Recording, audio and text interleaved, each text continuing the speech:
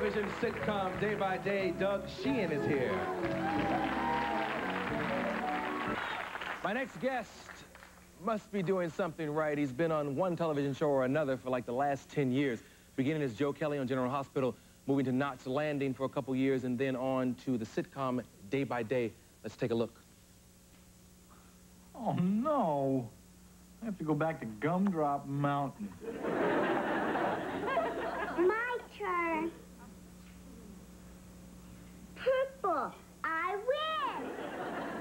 You haven't lost yet. That's because I'm good.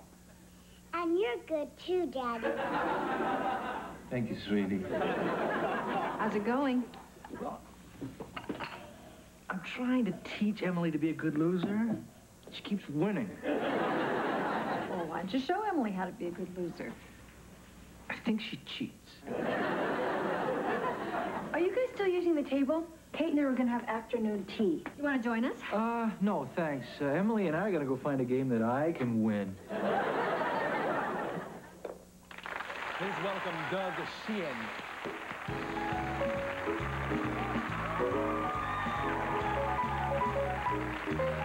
You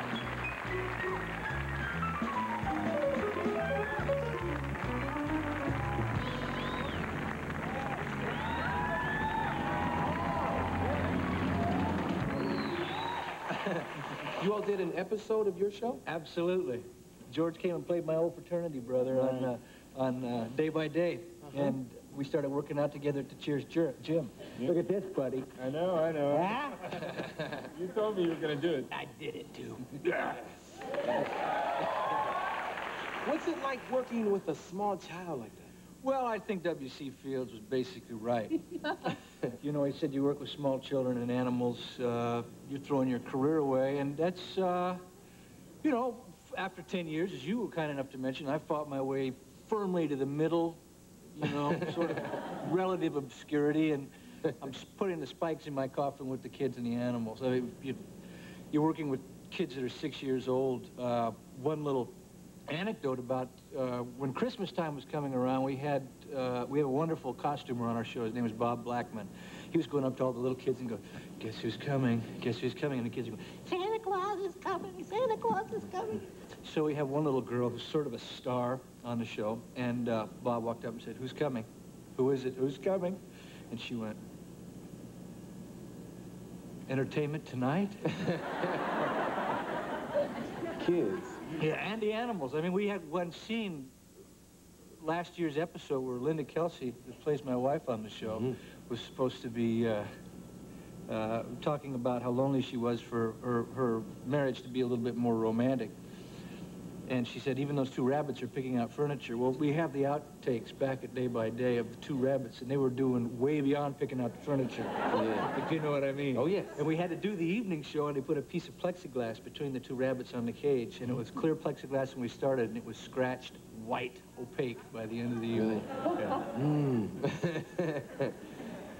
You've done daytime, uh, you've done a nighttime soap opera, now you're doing a sitcom. Hollywood has a strange attitude towards classes of, of the different mediums. You know what I'm talking about? Oh, man, do I. I'm living what you're talking about. Every time, you know, Hollywood is, as we all know, uh, is not run by, by the producers. It's run by casting directors. Yeah. casting directors never watch what you're on. Like, Arsenio, Arsenio, Arsenio Hall, Arsenio Hall. Well, Is that the guy me, from Police Academy? You're on television? Yeah. uh, I believe you do all those noises on Yeah. Police Academy. Yeah. Uh, and uh, you got to forgive me, I wash my hair when you're on, whatever. You know, they don't watch what you do. Yeah. So I've spent my whole time sort of breaking down the walls with the, the, the daytime and the nighttime, and, and now half-hour comedy. They don't know if I can do full-hour comedy yet, so that'll be the next one I have to do. I have to break through. Yeah. Soaps have a tremendous impact on. What is it about soaps? I remember when you did GH, and it, it's. I, You do know, if you know, it's called GH, yeah? Yo, yeah. Oh, yeah.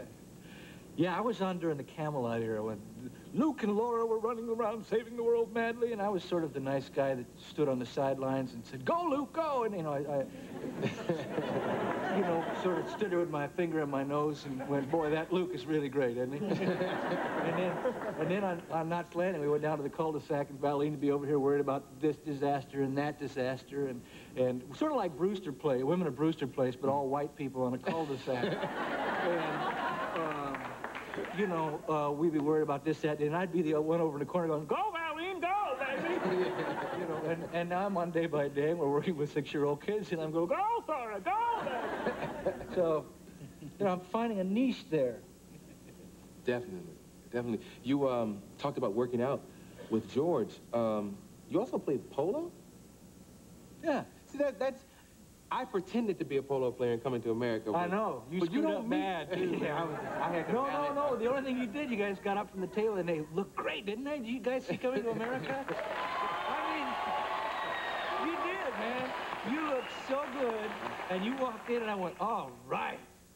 You guys just look so beautiful. You came in, you sat down, mother, father, how are you? And you got up and you walked away and you were like number five and number six. There's no number five or six in polo. There's only one, two, three, or four. That's it in the entire... Well, you know, we, where we're from, we had never seen horses. I mean, Ghetto of Cleveland and Eddie's from Jersey, you know, horses and polo, you know.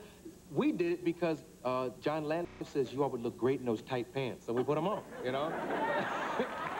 but, uh, but that's the only reason we did it. But you actually play polo. I am the captain of the um, the uh, Cadillac Celebrity Polo Team, and what we do is we fly, when we're not filming the show, we fly around the country using polo, which actually does have an old history in America. It was uh, brought to America the same year that Custer was massacred. Mm-hmm. Um, and uh, it's been a part of our sort of heritage. But we play for charity, and we use our celebrity and the sport of polo to bring people uh, to maybe see the sport that have never seen it before. And we raise money for various charities. And in the last three years, we've raised uh, over $2 million for various charities around the country. That's good. That's good. Um, I now here's something. In researching uh, your life, I found out I didn't know you were the Aramis man years ago. Wait a minute, Do you like Aramis? I mean, Do I like Aramis? did you wear it? Let me see. I used the umbrella, I used the shaver, I used all the stuff. Yeah, some of it I did use, not not not necessarily the Aramis flavored Aramis, but yeah, and it was a great gig. Oh, I can imagine. It was a great, great. You know what I want to do? Where's that stuff I had? Come here for a minute, guy. Come here. Let's do an Aramis smell test. Hey, guy, you just come, come right over here, because you know what's what. Now, we got this set up. There you go, Sandy. A, B, and C. Let me have your wrist for a minute. Put, here. Here. Smell that.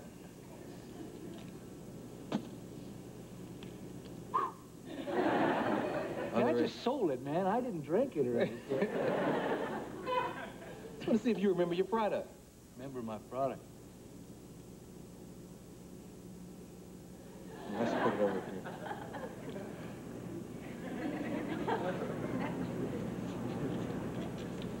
Smell mine. Oh, that's it. Is it? That's it. He said C. Is that it? That's good. That's very good.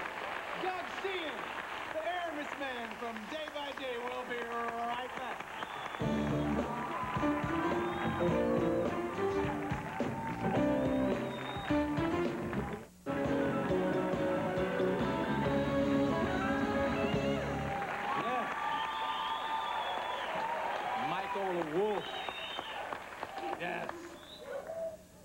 To thank all my guests. Uh, Doug, thank you for being here. Thank you very much for having me. And I also want to thank the baby. Well, he, he was happy to be here. Thanks, baby, with uh, residuals, okay? Oh, yeah. Send a check, George says. George and Bernadette. Also, Terri Lyne Carrington, who's here every night. Love you. All the wonderful people she brought with her, the Delfonics who brought my monologue to life. Uh, tomorrow night, Smokey Robinson, comedian Denny Johnston, and actress from Dallas, Beth Toussaint. I'll see you then. God bless.